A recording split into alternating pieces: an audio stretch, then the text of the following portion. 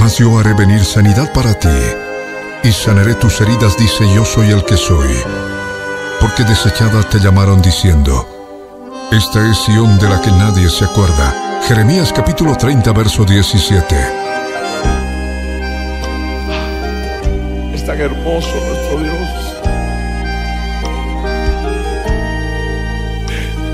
Palabras que eran cortas para poder expresar, poder contar al mundo, a las naciones, que todas estas melodías salen de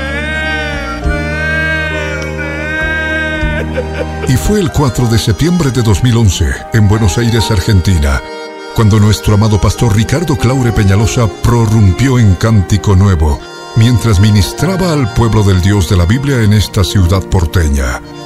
Sorprendentemente fluyó esta sublime sinfonía celestial del mismo trono del Señor, la cual está llena de unción y de poder para que tú puedas orar cantando, contándole al Señor todas esas cosas que te duelen en el corazón, aquellos traumas de la infancia, lo que no puedes perdonar y todo pecado que has podido cometer, para que así puedas limpiar tu corazón.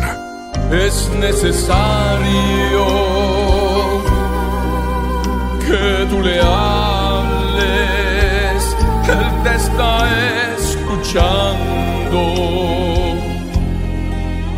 No lo rehuses,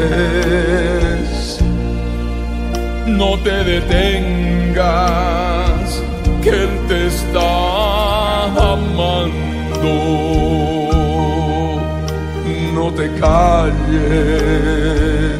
Él te está oyendo.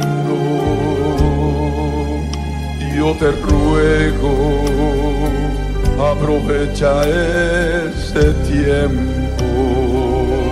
Él siempre te está escuchando, tan solo habla con Él, porque quiere con su amor, su infinito amor, liberarte.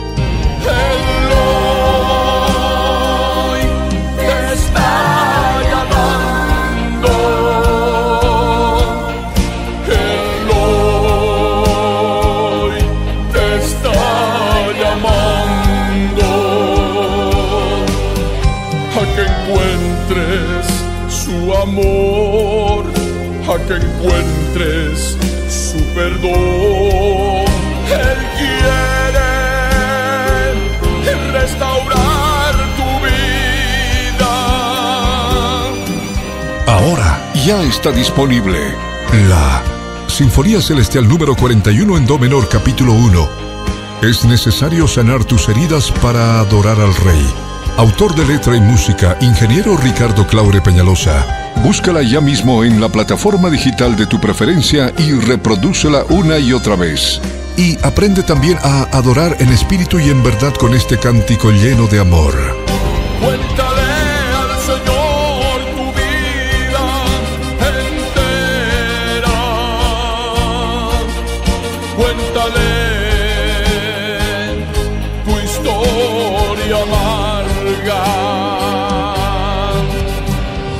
Porque Él te está escuchando. Porque sé tu amado redentor.